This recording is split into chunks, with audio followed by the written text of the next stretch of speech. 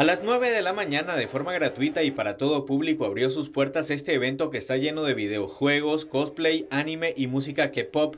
Entre los stands destacan diferentes puestos de videojuegos, muchos de ellos estaciones retro y de realidad virtual, así como emprendedores que están ofertando sus productos. Uh, esta máquina tiene 7000 juegos y uh, también, sí, salvaje.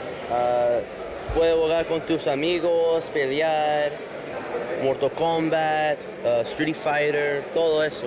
Gorritos, flores, todo tipo de llaveros, top de mariposa, entonces eh, es una pequeña muestra de lo que yo puedo hacer, ya que yo trabajo más por encargo. Entonces la gente me, me un peluchito, un gorrito, entonces yo trabajo personalizado. Anipop se realizó en el marco de la Expo Anual Nicaragua Emprende. Además de la pasión por el mundo asiático, este evento es un punto de encuentro de diversas manifestaciones culturales. De hecho me parece muy bien porque así fomentar de que todo el mundo pueda hacer lo que considere que esté mejor.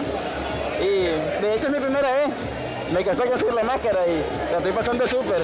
Pues realmente me gusta mucho por el hecho de que habemos muchas personas que tenemos este tipo de gusto y antes no solían hacer este tipo de eventos. Los programas El Lobby y la hora Nick de TN8 son los organizadores del Anipop, un evento en el que también hay concursos, presentaciones artísticas, música y el concierto en vivo de la banda nacional Kenko. Aquí todos estamos súper activadísimos, Jimmy.